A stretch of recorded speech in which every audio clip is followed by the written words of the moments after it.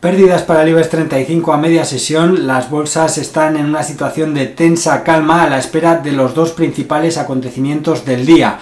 Hablamos de la primera votación en el, en el, Parlamento de Grecia para elegir a su presidente, que está prevista para las 7 de la tarde aproximadamente.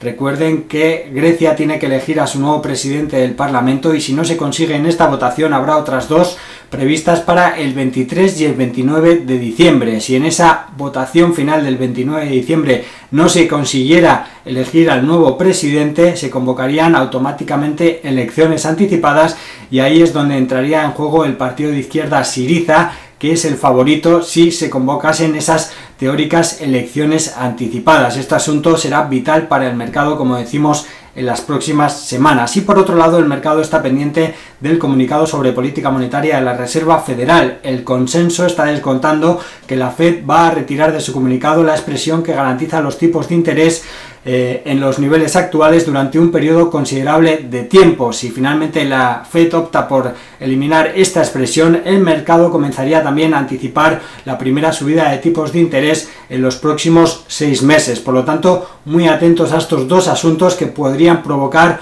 una apertura explosiva en las bolsas europeas en la jornada de mañana.